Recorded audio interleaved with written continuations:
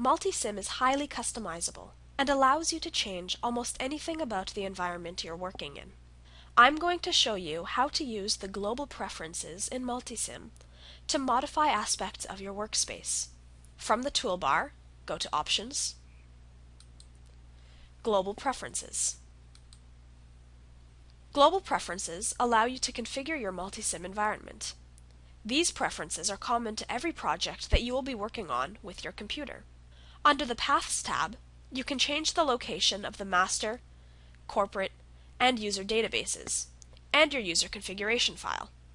Knowing the location of your user configuration file is handy if you use Multisim on more than one computer, or if you are going to change computers. All you have to do is note where the user configuration file is located on your computer by looking at this path.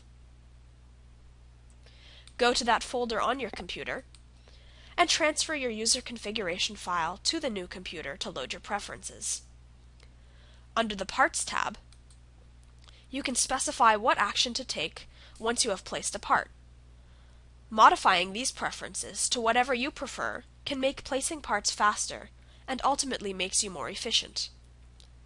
In the General tab, you can specify mouse wheel behavior, wiring options, and the language. I recommend playing around with these options on a test circuit and seeing what you prefer.